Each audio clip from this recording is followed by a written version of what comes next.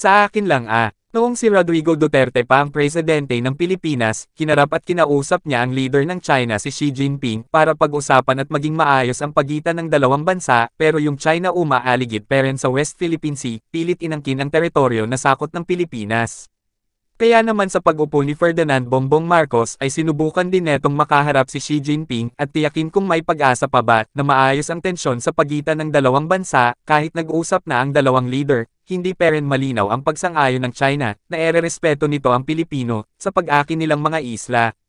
Alam nyo ba inanyayahan ng ating Pangulo si Xi Jinping at ang asawa neto na bumisita sa ating bansa, subalit wala ng tugon pa ang presidente ng China, yung ganitong senaryong usapin pang poletika ay matuturing na kawalang respeto.